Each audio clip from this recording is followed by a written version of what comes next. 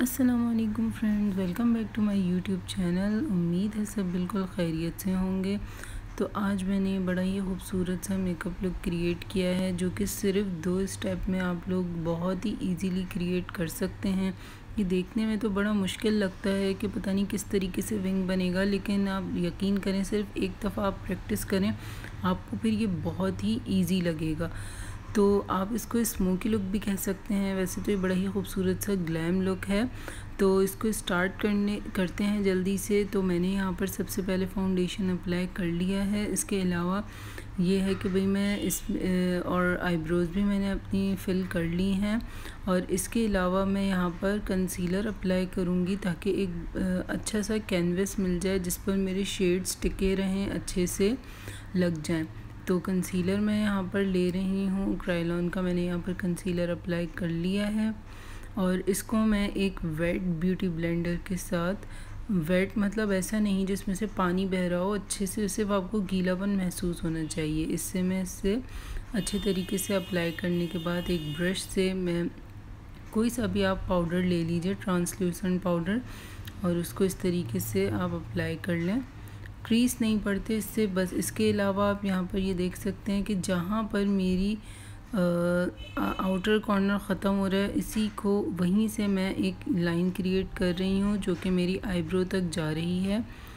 तो इस तरीके से ही आपको एक सिंपल सी लाइन क्रिएट करनी है और देखें, जहाँ तक मेरी ये एक, ये जो क्रीज़ बन रही है, इससे मैंने थोड़ा सा ऊपर, मैं अंदर की तरफ़ लेके गई हूँ लाइन इससे फ़ायदा ये होगा कि मेरा जो मेकअप है जब मैं आँखें खोलूँगी तो वो ऊपर नहीं लगेगा। इसीलिए मैंने इसको थोड़ा सा ऊपर करके लगाया। तो इससे बड़ा फ़ायदा रहता है। और इस, ये फिलिंग आप बहुत अच्छी रहेगी कि अगर आप इसको जेल लाइनर से ही करें पेंसिल से भी कर सकते हैं। लेकिन चूँकि लाइनर से अगर आप करेंगे तो ज़ाहिर है कि ब्रश से ज़्यादा अच्छी फिनिशिंग आएगी।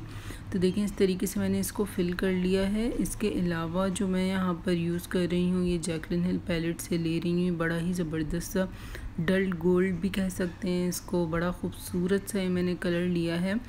और इसको देखें मैं, ये एक फ्लैट ब्रश की मदद से इसको अप्लाई कर रही हूँ। चूँकि मुझे इसकी अच्छी पिगमेंटेशन चाहिए, इसीलिए मैंने छोटा ब्रश लिया है।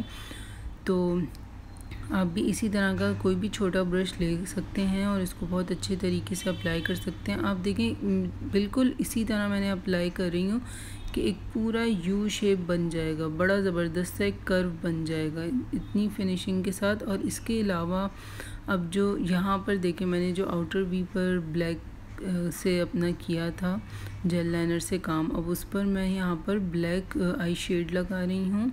क्योंकि उसी से ज़बरदस्त फिनिशिंग आती है और उसमें थोड़ा सा मैं ये गोल्ड की तरफ़ मर्ज करूँगी।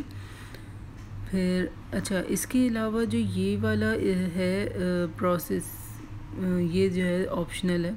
आप करना चाहें तो कर सकते हैं, ना करना चाहें तो छोड़ दें। इससे बस एक ये है कि ज़रा अच्छी सी डेप्थ आ जाएगी। मैंने हल्का सा एक ब्लैक शेड लगाया है और उसके अलावा मैं यहाँ पर अपने ब्राउ बोन एरिया को हाईलाइट कर रही हूँ। और फिर उसके बाद वहीं से ही आउटर वी के साथ ही मैं यहाँ पर एक बहुत छोटी सी लोअर लैश लाइन पर अपनी हाफ़ लोअर लैश लाइन पर इस तरीके से लाइनर जेल लाइनर अप्लाई कर रही हूँ और इसको मैं इस मैच करूँगी ब्लैक शेड के साथ। और इसको भी मैं अपने पूरे इनर कॉर्नर तक नहीं लेके जाऊँगी क्योंकि इनर कॉर्नर पर मैं लगाऊँगी लिक्विड ग्लिटर तो बस ये इसको मैं इतना ही रखूँगी। हाफ़ आई तक ही अप्लाई करूँगी। और फिर इसके बाद ये देखिए यहाँ तक मैंने अच्छे से कर लिया और फिर इसके बाद यहाँ पर कोई सा भी आप लिक्विड ग्लिटर ले सकते हैं, ऐसे ही लोकल कंपनी का है। तो इसको ये देखें, मैंने अपने किस तरीके से अप्लाई कर रही हूँ। थोड़ा सा ब्लैक पर भी लगाया है मैंने, जहाँ, ये नहीं कि जहाँ तक मैंने सिर्फ़ छोड़ा था जगह, सिर्फ़ उतना ही लगाया मैंने थोड़ा ब्लैक पर भी लेकर के गई हूँ।